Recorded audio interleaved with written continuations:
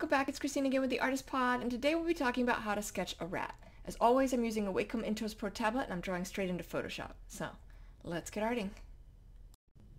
Alright, so um, we're going to start, uh, like always, we're going to open up Photoshop. We're going to come up here to a new um, canvas, and you can see I use this a lot. It's 15 by 18 at 300. You can see that over here, right? 15 uh, inches by 18 inches, 300 uh, pixels per inch. Um, and then I'm just going to hit create. Um, now I'm going to come down here and hit uh, add a new layer, create a new layer.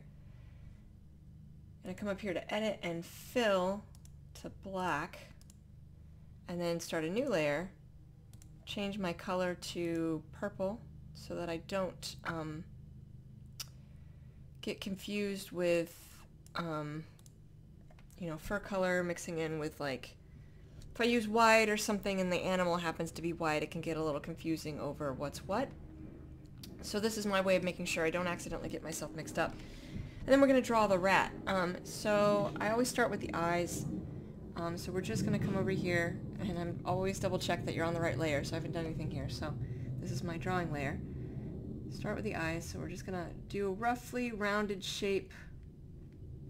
Now you could do the, the um, eyelid in a couple different ways. You can do the eyelid into that rounded shape. Um, I usually draw over top of it, but um, that is up to you. And then I continue that rounded shape. I'm going to have it kind of on the back side. Make one roughly the same height, size, in general. Doesn't have to be perfect. Roughly the same on the other side. Uh, so that's a bit big.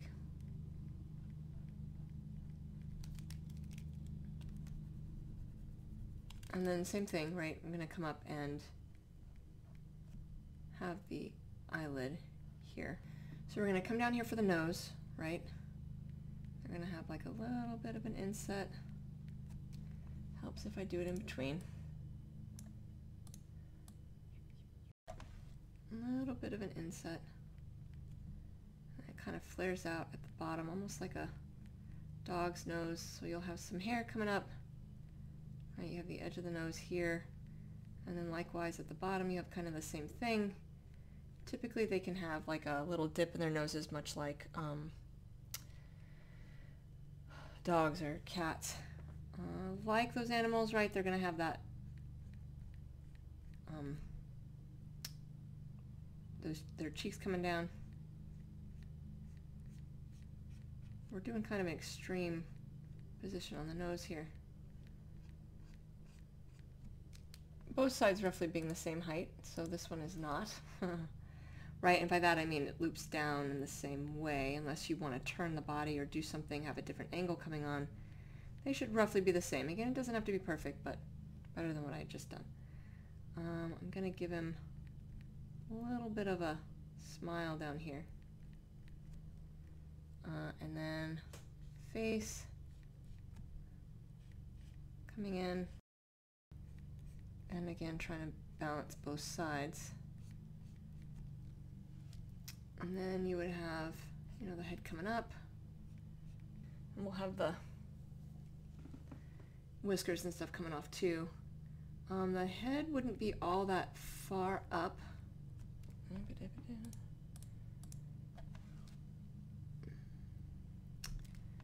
I'm going to readjust the eyes real fast. Make them a little bit more centered. So I'm just taking the uh, lasso tool and then the move tool and I'm just going to shift them.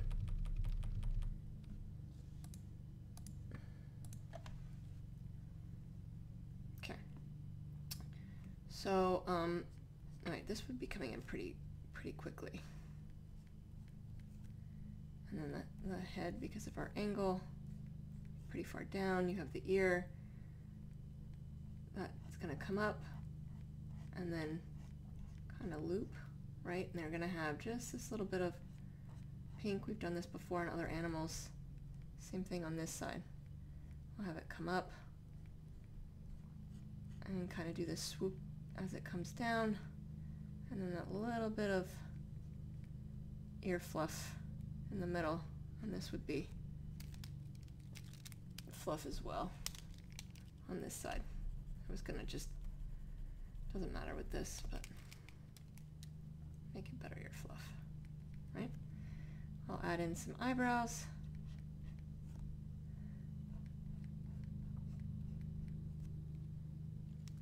Um, and maybe even make face a little thinner. So once again, we'll do that by taking the eyes. Now it's a, uh, eyes would be on the side of, it of its face like most, um,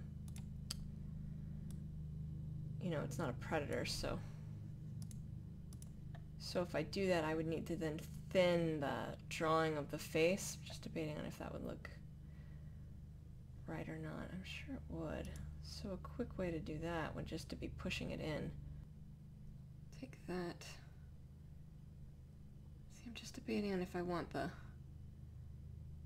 nose to be out like it is or if I don't right? And then so we'll pull this in. Oh wait except I included the eye so to unexclude something right I'm going to take that um, I'm going to hit alt and that'll unselect an area and then as soon as I hit the move button it'll select only what I've selected right so then I can pull this over thins the face and then select inverse to the other side. Now we're not going to do that. We're just going to reselect it.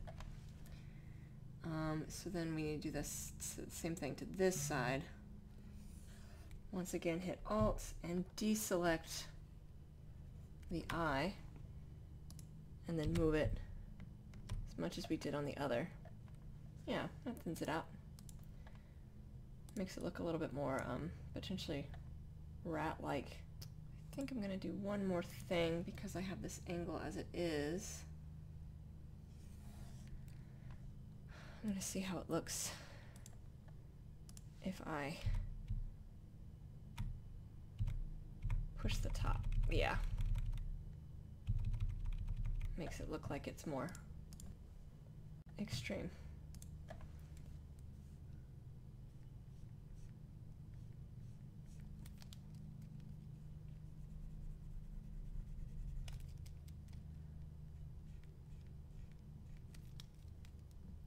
And then just sort of oy, fixing that. Sometimes when I do the eraser on my um, stylus, it thinks it's the brush tool. Oy, alas, it's fine.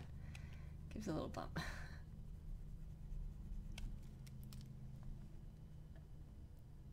Yeah, and then you get more of that sense that it's kind of an extreme, right? Like you have this um, extreme angle here. I don't often you know, do anything with the lines I put by the eyes, but they make me feel better about having lines by the eyes, I guess. All right. And then, you know, the whiskers again. Look a little silly if I miss the eye completely. So again, this is something that I may or may not add, just depends. I don't have to do it very good. Just a reminder that maybe I consider it Okay, so there's our sketch of of the rat. All right, so that's how you sketch a rat. I hope that's helpful. In the floating nether next to me, I have other videos of art tutorials I've done, and I will see you all soon. Thank you so much. Take care.